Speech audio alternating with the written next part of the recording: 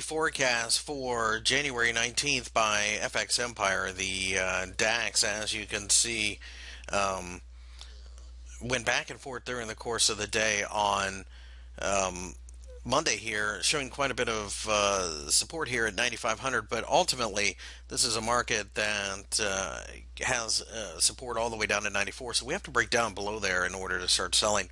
Rallies at this point in time uh, will be a little suspect, but if we can get above 9,800, we'd be willing to take a crack at a long position.